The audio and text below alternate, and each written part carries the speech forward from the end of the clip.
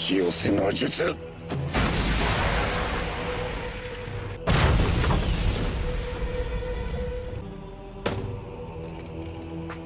やっとか。長門のガキをうまく成長させたようだな。この江戸天聖の術者は戦争をよく理解してあんたまで利用するとはな。因縁天聖の術ではないのか。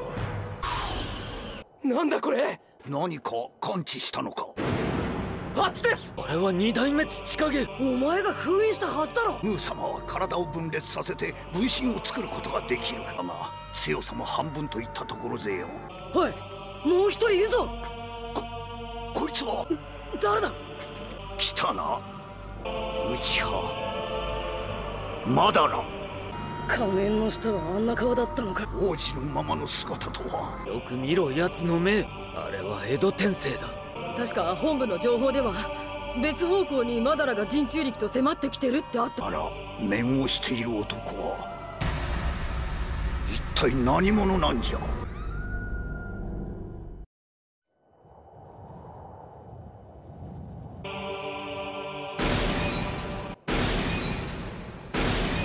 目の前のあいつが本物のマダラで。今までマダラだと思っていたのは暁を利用してきた土影のあんたなら推測することはできないのか？忍び装束は五大国それぞれだが連合の新しい軍団か。これは戦争のようなあまり計画通りに事が運んでいないようだ。俺をこんな形で復活させるとこの江戸天聖の術者は。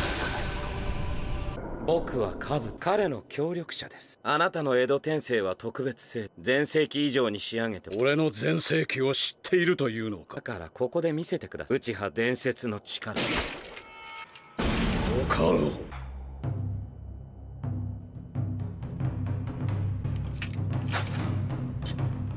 奴の目を直接見てはならんぞ。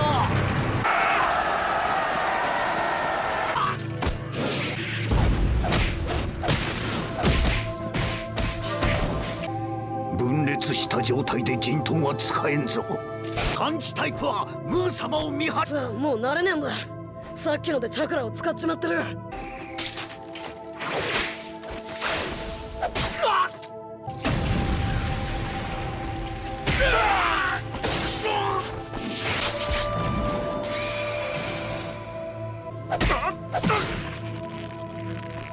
前も舞うか。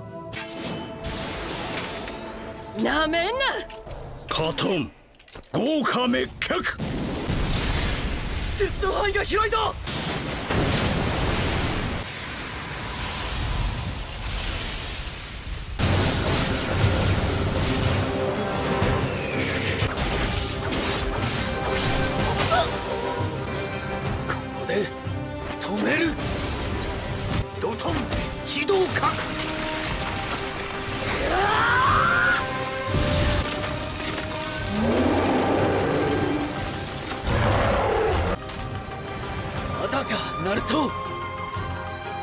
ちょいだってばよ。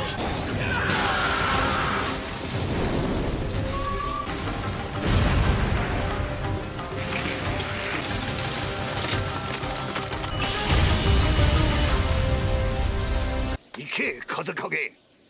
ドトン軽の術。サスケのと同じなら外部からの攻撃は効かない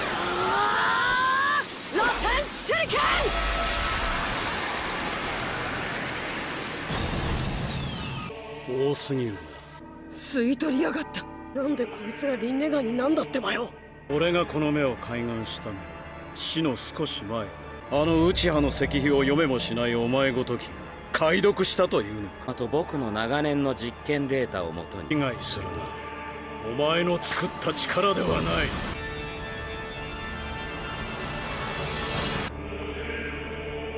次元が違う。神の力か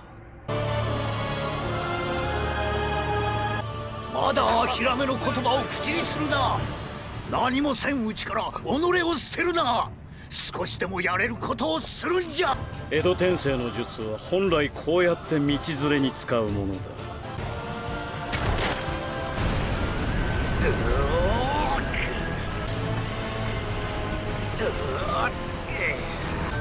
もう少しもう少しで止められる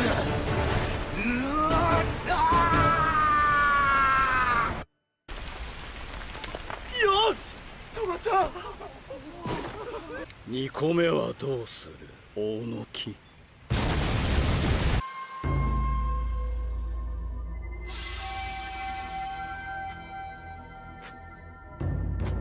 これは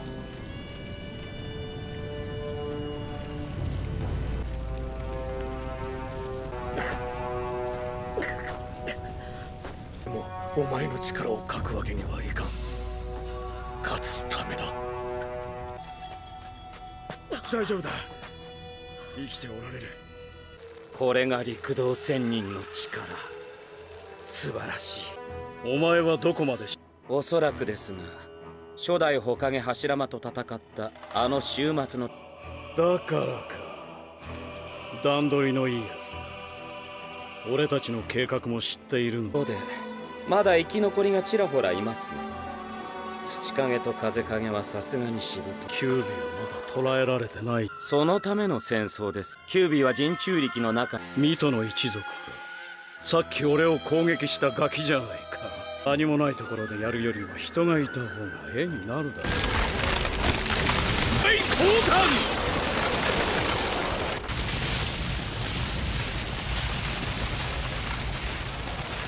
木遁までここまでのようだくそチャクラももう残り少ねえ。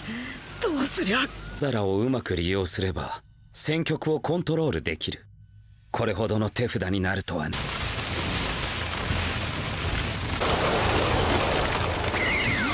大玉ら千眼！大連お前の言う通りなかなかのやつだ。でしょう？使っちまったもう限界だ。やっと己を拾う場が来た。そのための相手には十分じゃぜ。わしが相手をする。無茶だって。もうボロボロじゃねえかよ。もう少し術を試したい。もう踊れそうにないな大野木よ昔一度力の差を教えてやったはずだ。忍びはずっと戦いに明け暮れて帰国と自里の利益のためだけにずっと戦い続けそれが生きていくというその年まで生きて過去の痛みから何も学んでいないとはな。この戦争は違う。かつて戦争で奪い合ってきたものとは別のもの。これ以上成長する必要はない。己を拾う。眠るのはあんたじゃぜ。土影殿。今回はおせっかいも認めてやる。己のために未来のためにお前はここで。俺が本部に座標を連絡しておいた。陰風院解忍法創造再生。これ再生する術のやつだ。やっと暴れられる。待ちくたびれたわ。準備はできた。五影揃って共に戦う日が来るとはな。雷影水影少しの間時間稼ぎを頼む。この程度の術なら吸い取るまでも。来逆水平チャーこんなとこにいるのが場違いな気がしてくる。お前たちは俺と一緒にもう一人の方を狙うぞ。つか行くぞ。来い。まだかおかげ。もう少しだ。一人しかもこの程度の傷を治しただけだ。まだまだチャクラはたっぷりある。俺も。その必要はない。ななんで？お前を守るだけのものじゃないんじゃぜ。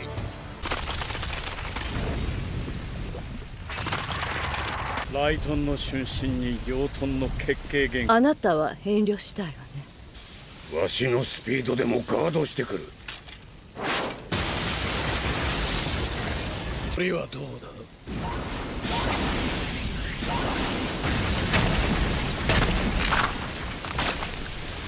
るぞ。ここからは攻めに回る。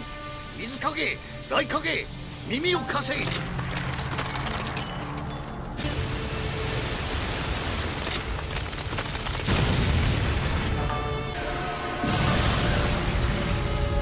よしわかった。霧隠れこれでリンネガンの視界を鈍らせるつもりですね。